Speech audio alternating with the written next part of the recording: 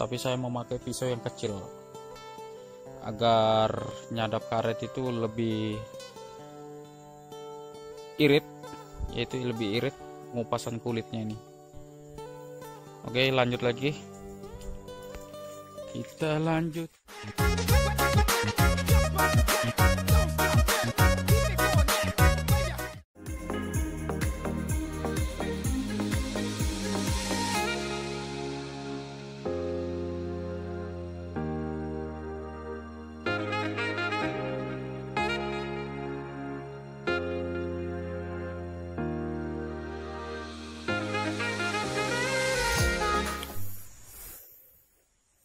Uh, selamat datang di channel saya. Uh, ini hari saya nyadap karet lagi seperti ini. Ini botol untuk sementara aja karena nanti mau diganti. Jadi kali ini saya akan menyadap karet di sore hari. Terima kasih banyak buat teman-teman semua yang sudah menonton. Jadi kali ini saya nyadap karet, jadi simak aja seperti ini. Uh, buat teman-teman yang komen-komennya yang belum saya sempat balas saya mohon maaf karena saya masih sibuk. Mungkin besok atau lusa baru bisa saya balas. Jadi nanti saya akan balas. Oke? Okay. seperti itu nyadapnya. Dan ini getahnya mulai keluar tuh ini tanpa bahan pengawet yaitu obat perangsang getah karet dan lain-lainnya. Ini masih alami. Jadi simak terus. Saya mau lanjut lagi ke pohon berikutnya. Jadi kita ke pohon yang ini lagi. Jadi teman-teman yang baru bergabung inilah kegiatan saya waktu di kebun.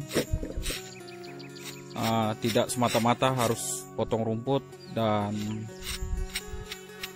uh, bersihkan kebun menggunakan mesin rumput ya. Jadi bisa menyadap karet dan uh, pem uh, ngurusin sawit juga pruning dan lain-lain seperti itu. Ini getahnya sudah mulai mengalir.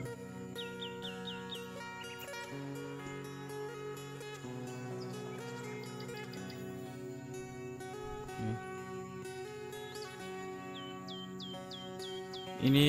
Saya panennya eh apa nyadap getah karetnya. Di ujung. Ini masih di ujung teman-teman. Jadi kalau teman-teman bingung ini di mana ini? Di ujung di ujung perbatasan perbatasan antara kebun orang dan kebun kami. Oke kita lanjut lagi. Kita lanjut ke sini bos.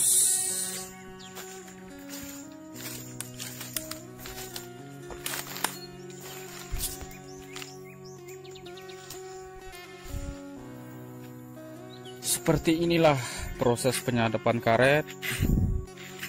Jadi banyak juga yang bertanya karet ini kegunaannya buat apa saja? Ini kegunaan karet ini untuk ban motor dan ban mobil. Dan sejenis karet yang terbuat dari karet. Kalau ada yang bertanya ini buat apa? Ya itu tadi penjelasan saya. Seperti itu ini lumayan deras. Ini yang termasuk saya belum ambil juga. Nanti saya mau ambil kalau dia sudah penuh. Oke. Kita pindah kita lanjut lagi. Kita lanjut ke sini bos. Itulah kegunaan getah karet pembuatan ban mobil dan ban motor jadi yang teman-teman pakai semua itu ya bahannya itu dari ini getah karet ini. Cuma kan banyak yang tidak mengetahui ini untuk apa. Jadi saya jelaskan seperti itu. Oke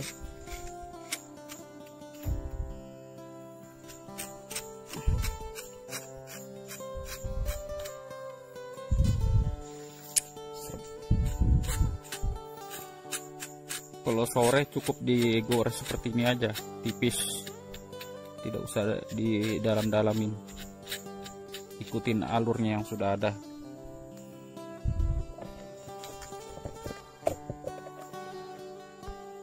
Nah itu seperti inilah proses penyadapan getah karet. Jadi kalau ada yang bertanya juga saya menggunakan pisau merek apa untuk pisaunya ini saya tidak tahu mereknya merek apa. Tapi saya memakai pisau yang kecil. Agar nyadap karet itu lebih irit yaitu lebih irit ngupasan kulitnya ini. Oke lanjut lagi. Kita lanjut ke sini bos.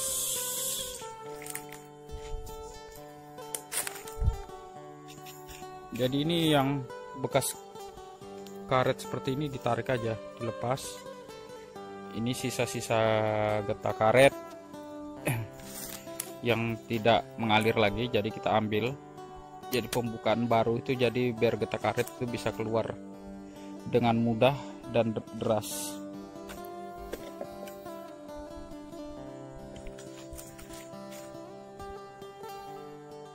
Nih seperti ini cukup seperti ini aja ditarik pelan-pelan.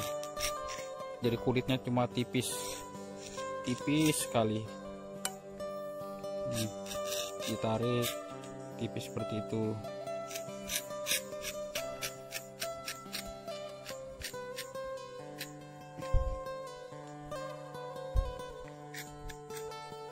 Oke mungkin itu saja dulu. Karena saya mau lanjutkan nyadap karet. Saya tidak memakai tripod ini jadi goyang-goyang kesian juga teman-teman untuk nonton. Sekian dan terima kasih thank you